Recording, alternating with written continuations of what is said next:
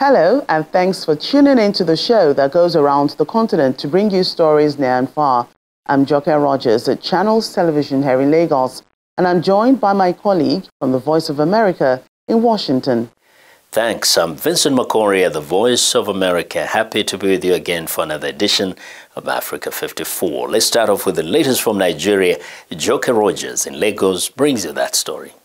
The Nigerian government has affirmed its commitment to deeper internet connectivity for the nation with the release of 46.1 billion naira to be spent on 113 interventions in high institutions, airports, and small businesses across the country. The Minister of Communications and Digital Economy, Mr. Ali Pantami, gave this information during a press conference in Abuja, the nation's capital. No need for going there, please. The Minister of Communications and Digital Economy, Mr. Isa Pantami, is here to meet with representatives of tertiary institutions, the aviation sector, and small business owners who are to benefit from 113 interventions of the federal government for broadband and internet connectivity. For years, poor digital access has been a concern across sectors in the country. And so 49 higher institutions, 20 airports, and six small businesses will partake in this first and second phase. We are happy that internet and other associated infrastructure uh, are now being made available to universities free of charge. For the second phase, we have 49 institutions, 20 airports, and six markets benefiting. The federal government is to spend about 46.1 billion naira on these interventions. All in all, we can safely say that from this number, we have 113 interventions. 19 universities in the first one, one college of education, 20 markets, 49 additional higher institutions of uh, learning, also six additional markets and 20 airports. You can safely say we have 113 interventions so far from the 41.6 billion naira to be spent as part of our donation to other sectors from our internally generated revenue through the telecommunications sector. We're having a lot of challenges with broadband providers across the airport because people come with different capacities, different promises. And when you engage, you find that sometimes it's 20% of what is promised. But I think with this, coming from the Honorable Minister and the federal government of Nigeria itself, this is the real thing. Broadband internet connectivity will ease operations in the aviation sector enhance research and studying in the nation's tertiary institutions. It would also make it a lot easier for businesses in Nigeria to connect with others across the globe. Let's get more on this. Joining me on Africa 54 today is Jude Kolawole, co-founder and CEO of Founding Networks. Glad to have you today on the program. Hello, uh, thanks for having me. Right. So let's begin. Achieving 70% to 100% broadband penetration by 2025 has been a major target of this administration. How well do you think this intervention will help facilitate it? Um, th- thank you very much. I think that this approach that has been taken by the federal government is uh, crucial and critical. Uh, it's, it achieves a number of things. One, it provides the example that we need for digital penetration within public institutions. So you see a situation where uh, the public institutions that we have are already uh, digitally connected. Institutions like the airports, uh, the hospitals, uh, the universities, tertiary institutions. This helps to lay the background for uh, the kind of internet penetration that the government wants to see. Much more importantly is also that there is a lot of activities that go with citizens wanting to access government services. Uh, there's a lot of research, for example. I, I work currently with CC Hub uh, with higher education institutions uh, practice. And one of the critical ways we're looking to leverage innovation for solving African problems is through the universities. A lot of research and development already goes on within that space that you want to see impacting on the economy.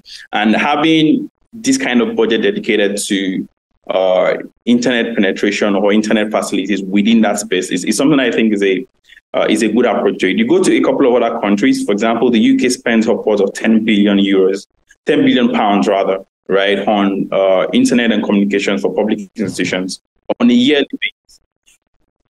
So this is a step in the right direction. I think that it's going to deepen that um, goal of internet penetration and digital economy for our country. And so the issue of adequate infrastructure is quite critical to this. How do you think the funds will help effectively uh, deploy this, achieve, uh, this uh, pro project?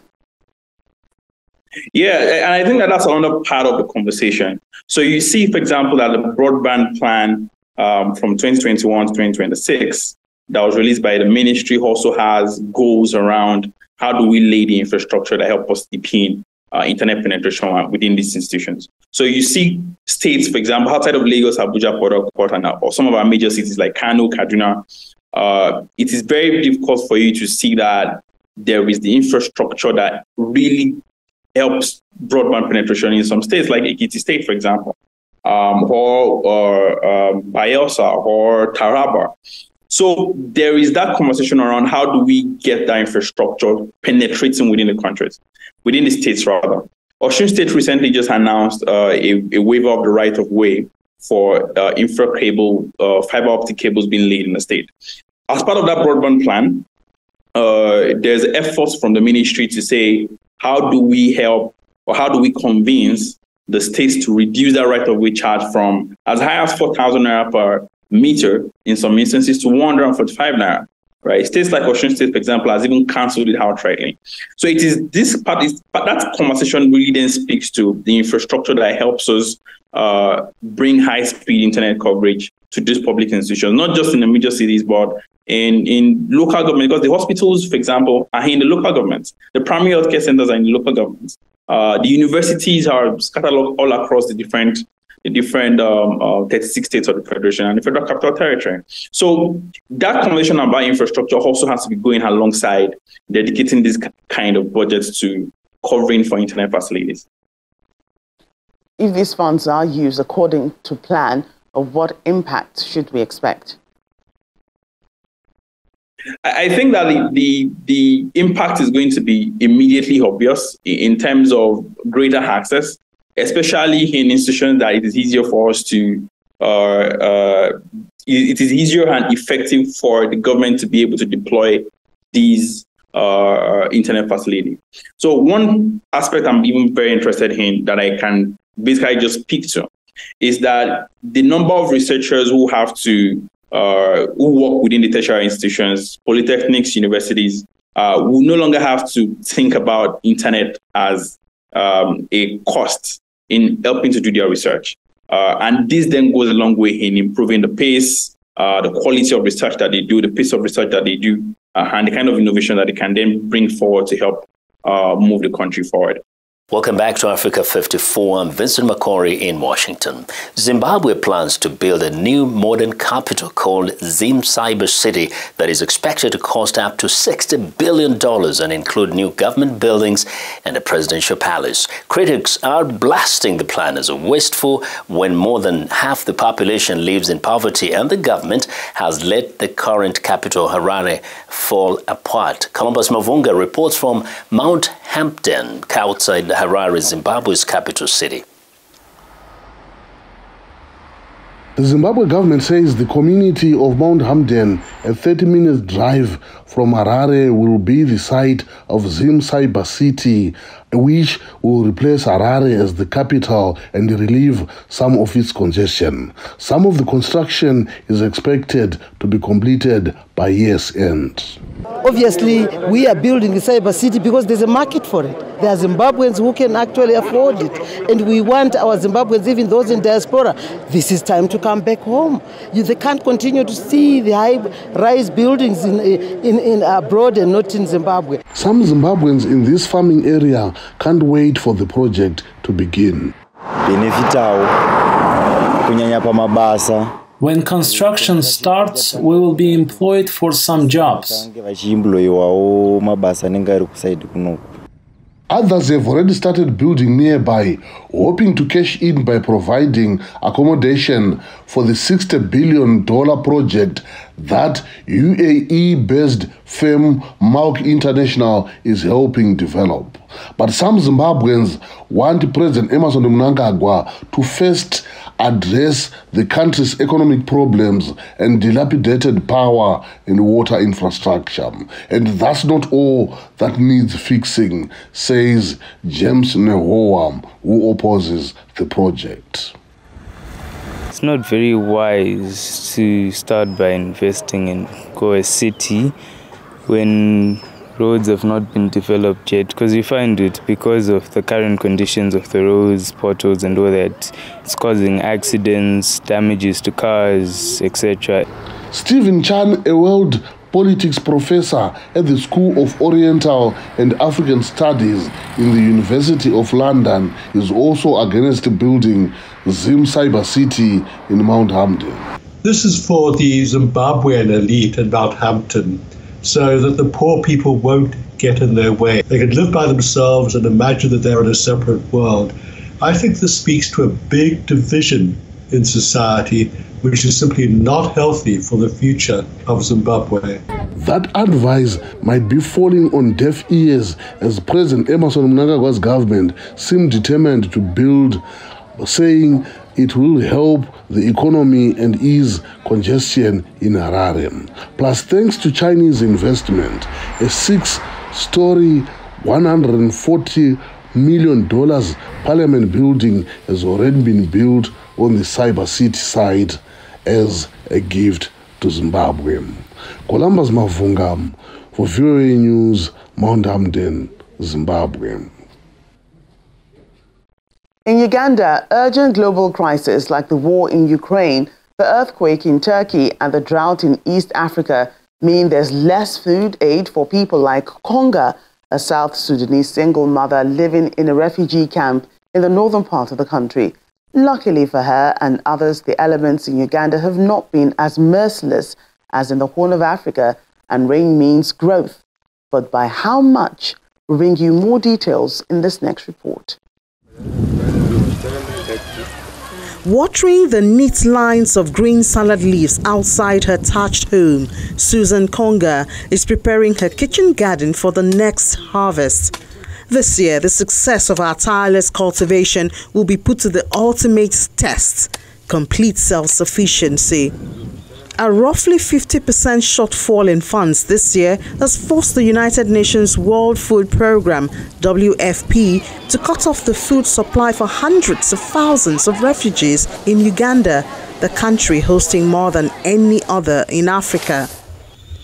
After six years in Uganda, Konga must now rely entirely on the maize, cassava, and salad leaves grown in her small vegetable patch the abrupt change in policy will make it difficult for her to adjust. Konga worries she won't be able to grow enough surplus produce to sell to pay for her two nieces' school fees and other basic household supplies like soap. We are already aware, they already told us that we are, they are going to give food according to categories. Not everyone will get food. But my I plead to them, they should at least give food for everyone since we are not yet stable, the food should continue for everyone at least for more two or three years to come. Then there, at least we can, in the next, in the in the in the middle, we can plan to for what to do. WFP says vulnerable refugees such as new arrivals, the sick and elderly will continue to receive emergency food aid, but the organization's $180 million funding shortfall means others will have to be weaned off it. Some refugees who, given emergency support that they received when they came to Uganda, and this emergency support is very important because it enables a refugee survive when they need it the most there cannot be resilience if you do not receive emergency support when you're hit by crisis. But these people have been able to to link into livelihood interventions, to work with our various partners, and be able to stand on their own and be sustainable. And this is the third category that we shall be supporting and winning of food assistance. Owners are having to make very difficult decisions because uh, the needs uh, are enormous globally. Um, we, of course, have known for some time about the impact of the war in Ukraine. Uh, earlier this year, we had the earthquake in Turkey and Syria. Uh, but as far as Uganda is concerned, we're not only competing uh, for visibility on a global scale, we're competing for visibility in the region as well. The rains have been good so far, but for Konga and others like her, surviving in the periods between harvest may be a struggle while they pray that rains do not fail. Electric trucks tested two years ago in rural Rwanda have quickly expanded as the fleet reduced cost and with a lower impact on the environment.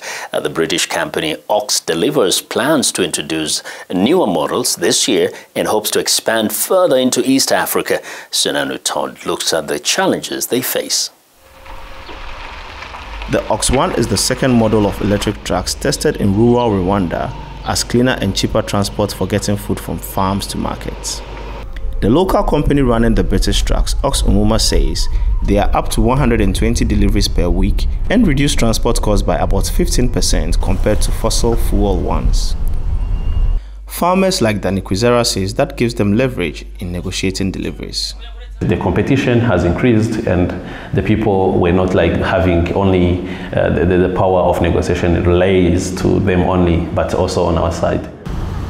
The World Bank says only half the people in sub Saharan Africa have electricity, while in the countryside, 70% are without power. So, electric vehicles in rural Africa must be able to go long distances on a single charge. Ox Umume's chief mechanic, Innocent Mbonigaba, says new models arriving in Rwanda later this year will have better features for Africa's poor grids and roads. For example, battery range. This one can move more than 100 kilometers, 100 kilometers. So for the next ones, they will be double, like 300 kilometers without charging and also even we, we, we see the how the suspension chassis and also other part mechanical part how it how it is operating even to our bad roads a spokesperson at Rwanda's Ministry of Agriculture told VOA by phone that electric tracking of produce builds on their goal of farming becoming fully organic. Rwanda offers tax incentives that have attracted electric firms. Electric motorbike company Ampersand says taxi drivers increase their income by up to half with savings on fuel and repairs. So Rwanda has really set up the model for what uh, building the EV industry could look like in the region. Um, and I think a lot of other countries have, have, have, seen the results here, have seen the progress that, that we have made and, and, and others, uh, and want to sort of replicate that in their, in their own countries. Uh, and so while uh, Rwanda is definitely sort of the, the furthest along uh, with, uh, with the sort of incentive the incentives and policies around e-mobility, we do see other, other countries in the region coming up quickly. Ox Umume's operations manager Ferdinand Munzero says their electric tracking is not quite ready to expand in Africa. We are very excited to expand, but we can't expand till we, we, we need to maximize the, poten- the, the market that is available in Rwanda. We are still having people that are uh, staying like in the uh, like that are spending a night on the road. So we are having few vehicles, and we are planning to maximize by bringing into more vehicles till we maximize that market. Then we can go to other countries. Ox Umuma says they also plan to install refrigeration in their trucks to better transport fresh produce over long distances. Senanu Tord for VOA News, Kigali, Rwanda. Like its neighbors, Somalia and Kenya, southern Ethiopia is enduring the Horn of Africa's worst drought in decades. Five consecutive rainy seasons have failed, and the one underway is expected to as well. The result is malnourishment of people and animals. After three years of failed rains, the animals in the southern Ethiopian village of Kura Kalicha are dying. Dozens of decomposing cattle carcasses lie on the parched earth. Jilawile, a local government official, fears the villagers will be next. We have over 100 people in critical condition and malnourished from starvation. This number includes children, elders, and pregnant women. In Somalia, which has been hit the hardest, an estimated 43,000 people died because of the drought last year, according to researchers. No fatalities have been directly attributed to the drought in the Oromia region, where Kurakalicha is located, or the neighboring drought affected regions. But humanitarian workers said it will not be long. Hmm. Hmm. Locals say assistance has been slow to arrive.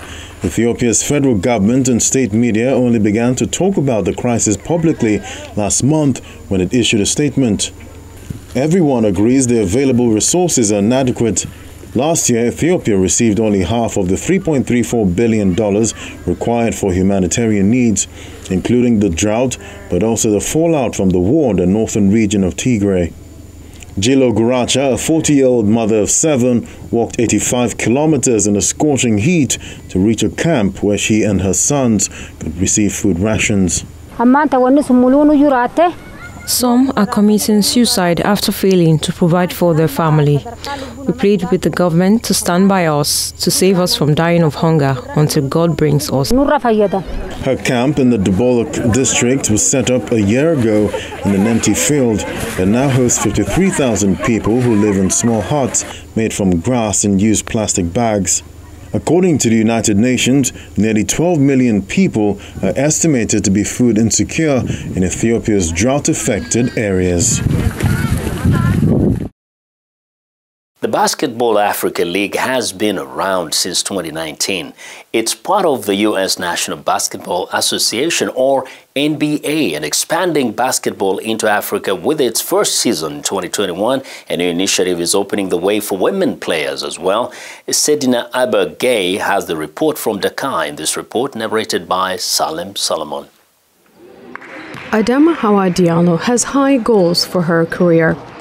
She wants to play basketball around Africa and the world. The Basketball Africa League, or BAL, has set up the BAL for her initiative she says is perfect for her. I have challenges. I want to win everything, and that's what I've been aiming for for a long time. To be queen of basketball, to be champion of Africa, to travel. That's what I really want. BAL Operations Chief says the program has two goals to teach the game to women basketball players and to raise the profile of women players. This camp today is to provide an opportunity for the girls to have more visibility, to provide them with a little more material in terms of basketball, and off the field also, because they are going to do a basketball camp, then a seminar on nutrition and on women in sports. For many of these female players, it's not about comparing them to male players, but about access to opportunity, says Malian Amshiatu Maigaba, a professional women's basketball player. We can grow together, and it's a pleasure to see these women who have opportunities, not only on a basketball court, but all around, because they have abilities, and it's a pleasure to see them having the opportunity to demonstrate. After specific initiatives for women, such as regional camps and the National Basketball Association Academy program for girls, the BAL leadership says they are looking to strengthen the place of women in sports. Uh, maintenant, on va continuer à vraiment produire du talent. We will continue to produce talent at girls' level, and all these talents, when time comes, will be able to perform on the continent in a professional women's league that we will also continue to develop. The league has plans to add more camps and create space for women in the coming years. For Seydina Aba Gueye in Dakar, Senegal, Salem Solomon, VOA News.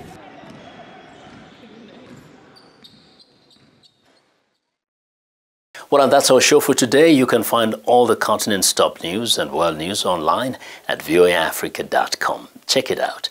I'm Vincent Makori in Washington. Channels Television has our last word. We look forward to bringing you another show next week. To remember that channelstv.com is your source for news and other programming. I'm Joke Rogers. Thanks for watching and goodbye.